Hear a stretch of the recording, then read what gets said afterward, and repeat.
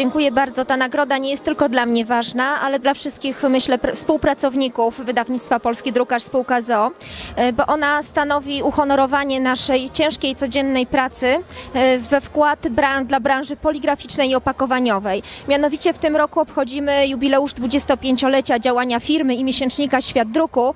To świadczy o tym, że każdego dnia staramy się być tutaj razem z Państwem. Dziękuję wszystkim współpracownikom, klientom i Państwu za, tę, za to wyróżnienie. Dziękuję.